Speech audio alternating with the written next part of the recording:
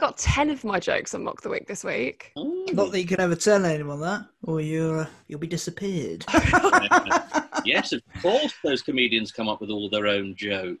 Yeah, as if anyone could come up with what's with Boris's hair. As if anyone could come up with that. Hey, hey s- Oh. sorry I'm late. So, sorry, Mr. Herring, sir. Um, oh, that prick's not even here yet.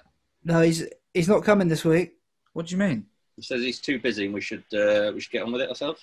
Yeah, what else do you think he's doing that is so important? Uh, clearing stones off a field. I don't know. Dicking around on Twitter, letting everyone know it's Alfred Nobel Day in Sweden. Oh, when will it be Ross Nobel Day? Maybe he's just lying in a dark room considering all the bad decisions he's made that have led him to this point. Touching himself with the hand of a ventriloquist dummy.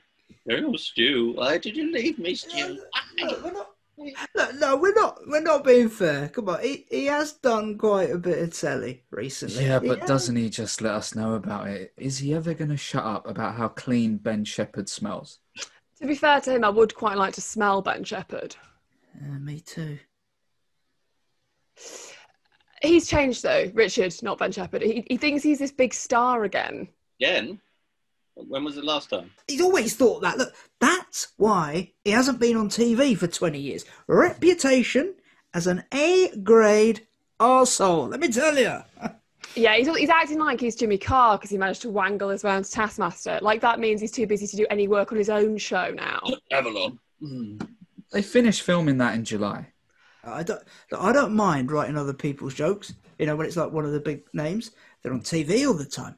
They don't have time to write their own stuff. I get that. But the thing is, we know he's just sitting in the bath playing Yahtzee on his iPhone. I wouldn't mind all this if he just delivered the jokes that we'd written properly. Have you seen the show? No, No, no, I haven't seen it. no. Not yet. It I is- will. I will. I will. I honestly don't think he's even read the script through once. He, he, he genuinely delivers it like a five year old learning to read and speak. It sounds like he's just making it up. Yeah, we, he's definitely got above himself. I mean, we should teach him a lesson. we should fuck him up. Li- listen, we can get him cancelled so he never works again. Are you sure that's fair? Also, like, I would need the 50 quid a week that he gives us. It's fu- funny. Imagine I I can't bring myself to use it. Like every time I go to buy something, I think, how do I earn this money again? And then it it just feels like like blood money. Mm. Like I just can't can't go through with it. No way. Yeah, fuck him. The kids are fat enough; they can go without breakfast. Mm. Right, listen, how about this? You know that really stupid moustache he's got now, right? Why don't we tell him to shave it back down to just like when he had a Hitler moustache? In 2020, he barely got away with it 10 years ago. Yeah, you'll have it for the whole show as well. So someone's bound to take a clip of it and put it out of context on Twitter. Exactly. definitely be cancelled. He'll be killed. He can spout all that bullshit about reclaiming it for Charlie Chaplin again.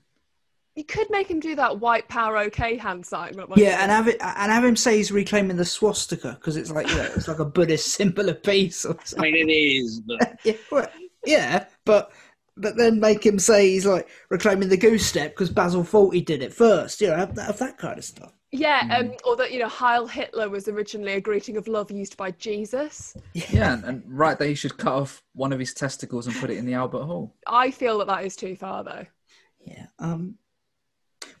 Well, look, why, why, don't- why don't we put it in and just see Yeah. what happens? Yeah, let's pop Yeah. in. Yeah. he'll Um, get carted away, isn't he? well, maybe, but what if it? What if it makes him more popular? I mean, It worked for Hitler. And for Katie Hopkins. Oh, come on. Earrings are not as bad as uh, what if what if he questions us on this? What do we do then? just tell him it's going to make him really famous.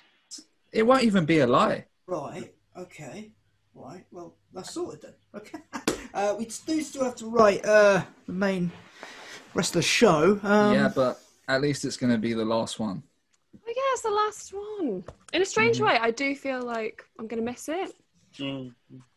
So who's got something for the Marmite lid? You know, I'm not. I'm not going to miss it. Yeah.